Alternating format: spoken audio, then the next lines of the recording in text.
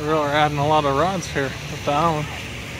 Little drop zone going over there, spinning. While then the football and basketball and soccer ball ride's not going right now. And then that, they look like the Spy Kids one. I got the top. Kind of like the Dollywood one in a littler fashion.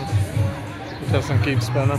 The whole rides over here, man, they really got a lot of rides going on.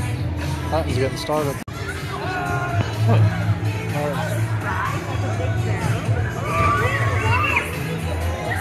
really going now, ain't it? Oh, all kinds of angles. It's like the Spy Kids riding the, the Spy Kids movie. I think that's about the speed it'll stay. Not go too fast. Not hurt somebody. Oh, crazy. It's pretty cool though.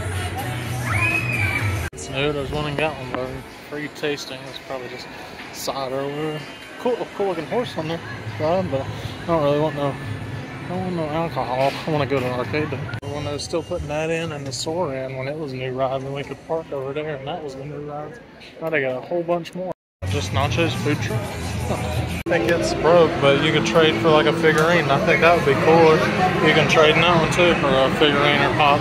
Space Arcade is transferred into a tap. And look at this, 75,000 tickets cut a rope. Huh.